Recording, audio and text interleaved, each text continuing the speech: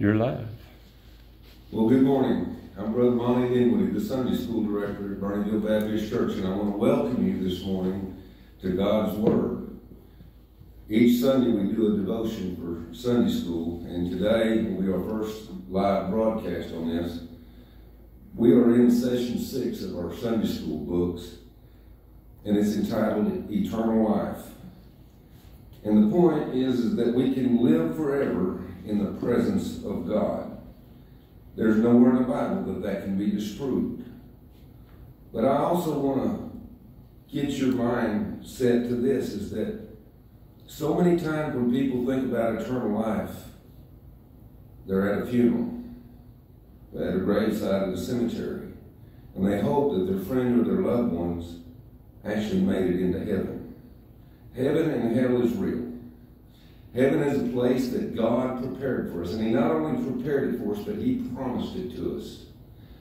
And I want to read it today with you, out of the uh, book of Hebrews, chapter 11. We're going to read verses 8 through 16.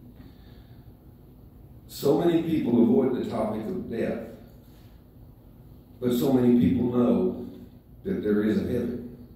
They know. And unfortunately, there's a lot of people that know there's a heaven has never accepted Jesus Christ as their Lord and Savior. They've never placed their faith in God. And that's where it's at. Faith in God through Jesus Christ. That is the only way that we can expect to spend eternal life in heaven. To be there forever. So I want to read to you out of Hebrews chapter 8, or chapter 11, excuse me, verses 8 through 16. This is the faith of the patriarchs. God's word says this By faith, Abraham, when he was called to go out into a place which he should after receive for an inheritance, obeyed.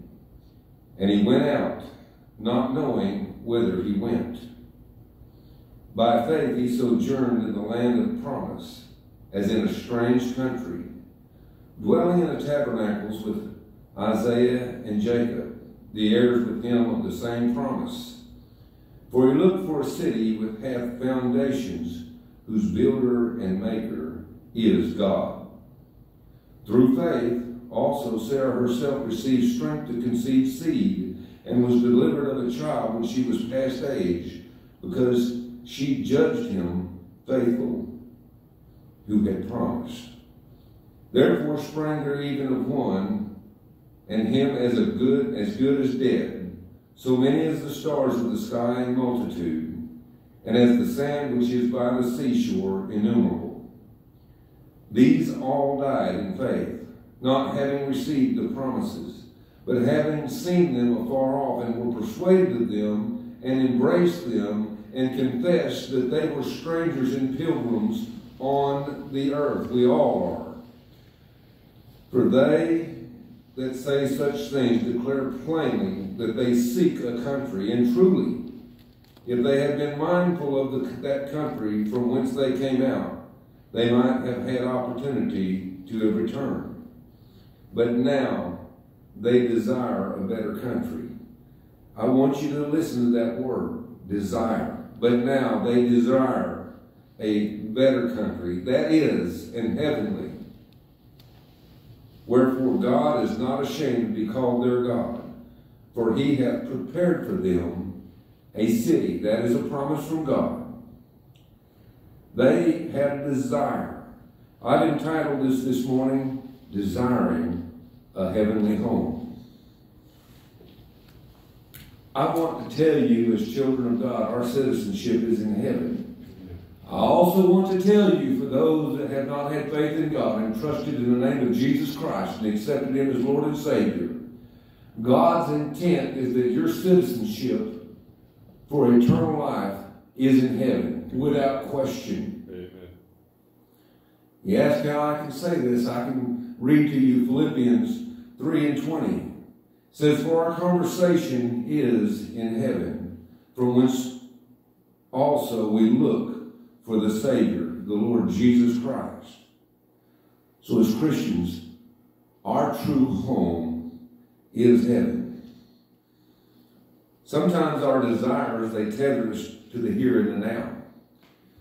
And you know, our desires to be married, to have children, to have grandchildren, to have great and excellent careers, to have a beautiful home, to travel, all those things are good and great things. And we can have all those things. But we don't need to let those desires tether us to this earth. Those patriarchs that came before us did not have a desire to stay in this earth. They knew that God had promised to them a better city. And that better city speaks in reference to heaven. God promised that.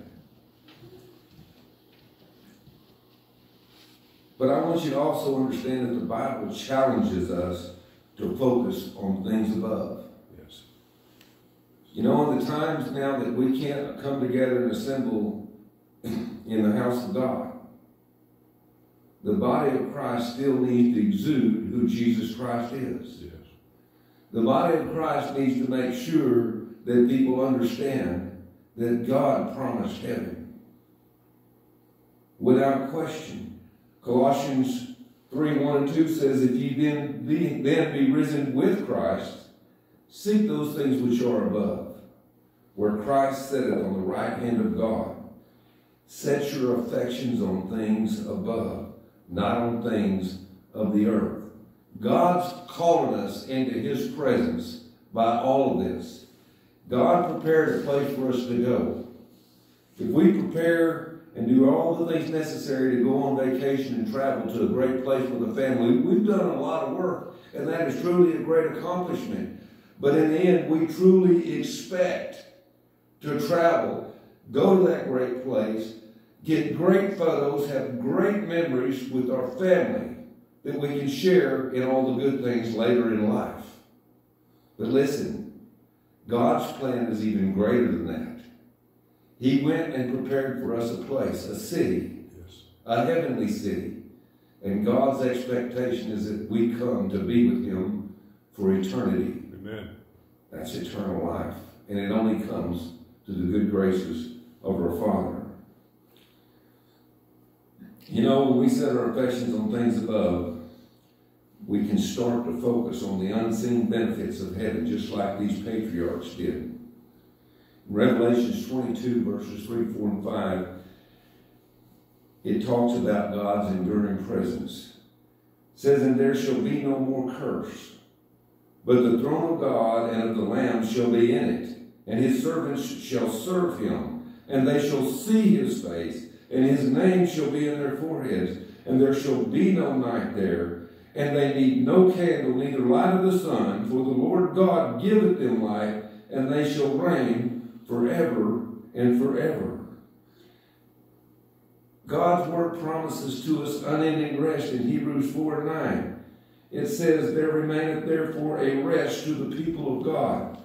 That means we will have an unending rest forever and ever. 1 Peter 1 4 says, To an inheritance incorruptible and undefiled, and that fadeth not away, reserved in heaven for you. Again, eternal life is an everlasting inheritance through Christ. You know, recently I, I read something about how that believers desire that heavenly inheritance. And when I opened up talking about how that people think more about eternal life and heaven and stuff at funerals and at gravesites, this kind of came to my mind when we talk about believers desiring a heavenly inheritance. We all want to know that our loved ones made it to heaven. We want to know, but sometimes we want to know only when we get to the funeral. Yeah, we have some desires along the way, but that's when its greatest impact is there. But now you need to focus on you and where you're going to be.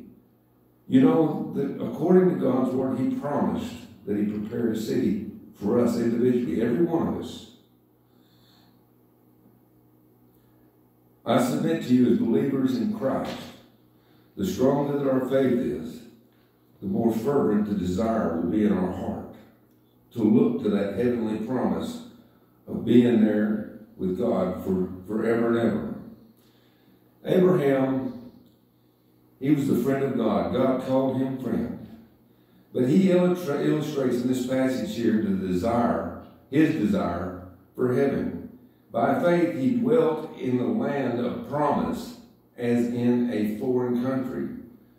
For he waited for the city which has foundations, whose builder and maker is God.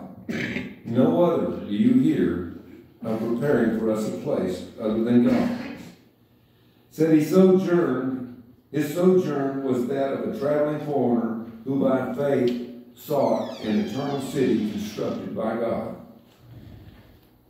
There's several Old Testament believers that are mentioned here in Hebrews 11 that they had a very strong faith in God and it enabled them to be able to embrace God's promises before they ever received them. They knew that God promised and that God was faithful and that God would deliver them as long as they had faith in Him.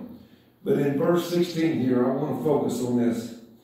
It said, But now they desire a better country. They knew God promised it. And they had faith in God. They trusted God, and God sent them through many, many things. And I can speak for a long time on that. But the point here is, is that they had faith in God. And because God promised and God had taken care of them when they was faithful to Him, now they had a greater desire for a better country. That is a heavenly country. Amen. God had them in a great place, and they continued to, to live in faith. But they desired to be in that better country, a heavenly country, wherefore God is not ashamed to be called their God. For he had prepared for them a city. They did never lose the faith in that. They, they trusted that. They knew without a doubt there was truly a heaven. And so there's so many people that knows there's a heaven that's not accepted Jesus Christ as their personal Lord and Savior. They don't have eternal life secured for them in heaven. So many people say, yeah, I know there's a heaven, but I just don't understand all of this. You know, when we talk about the lack of understanding, it's not that we understand because we were seeking God, because I tell you, there's examples throughout God's Word where people would seek God, and God would send somebody in their path and cause them to realize the gospel of Jesus Christ, introduce them to Jesus, and they accepted Jesus. So it's not that we don't understand because we lack calling on God. We don't understand because we don't call on God. I read this and it's anonymous, but I want to share it with you because one person put it this way. Many things in the Bible I cannot understand. Many things in the Bible I only think I understand. But there are many things in the Bible I cannot misunderstand. Amen. I wish I could give credit to the person that wrote that, but it's listed as anonymous. But let me say to you that it's true that there's many things in God's Word that we cannot misunderstand. We cannot misunderstand that it is God's desire that none should perish, but that all should come to repentance. That's in 2 Peter chapter 3 and verse 19. We cannot misunderstand what Jesus said in John 14, 6. He said, He said unto them, I am the way and the truth and the life. No man cometh to the Father but by me. We can't misunderstand what Jesus says in Revelation 3 and 20. He said, Behold, I stand at the door and knock. If any man hear my voice and open the door, I will come into him and will sup with him and he with me. We cannot misunderstand what Acts 17 and 31 says. Here it says, Because he, he being God, because he hath appointed a day in which he will judge the world in righteousness we cannot misunderstand that if we trust God, He will give us a desire for that heavenly country, just like He did the patriarchs here in Hebrews chapter 11. And I promise you, it will cause you to start loosening your grips on this world. It will cause you to start praying and seeking God. Call on God. So many people say, well, I'm a sinner, and God don't look upon sin. Let me tell you, if you're lost and you pray and ask God Teach me about Jesus Christ. Teach me about the Savior that you sent to me. God will put somebody in your life. God will cause you to understand. God hears the cry of the lost. That's right. God hears the cry of the lost. Don't say that I misunderstand, that I can't talk to God because God can't look up on sin. And the Bible says that we're all born into sin, and all have sinned and come short of the glory of God. The grace of God, the love of God, God's mercy will hear your cry, and God will put somebody in your path. You have to have the desire. Yes. Everyone has within what God created in us is a desire for that heavenly home. You can't say you don't know God in some way or another because God created you in His image. We all have a right to that promise from God of eternal life. So we cannot misunderstand. We are promised heaven only if we put our faith in God. And God, through the Holy Spirit, will lead us to Christ. Don't be afraid to talk to someone you know that is saved. Don't think that any excuse of you dodging accepting Jesus Christ as your Savior will get you through judgment day and into heaven.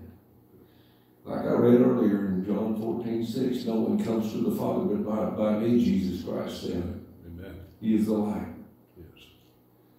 He is the truth. God's only Son. You know, for the Christian, heaven is spelled H-O-M-A. Yes. That's right. Home. Amen. I love you all, and I pray that God's word has spoke to your heart this morning. Let's close in a word of prayer. Heavenly Father, we love you because you first loved us. Father, we thank you for the Savior that you gave to us. Father, you knew all things. You knew we needed a Savior. Father, we're in a pandemic now, Father, you know all things about this. Father, we pray for the world this day. Asking you, Father, to heal this land. Looking to you, Father, for every answer.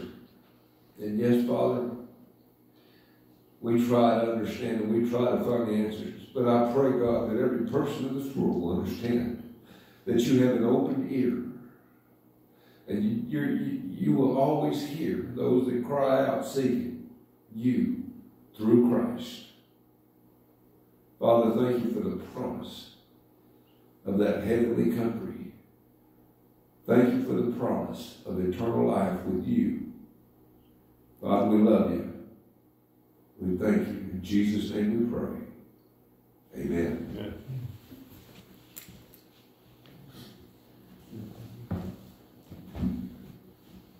Okay, we'll be back live at eleven o'clock for our, our service or, or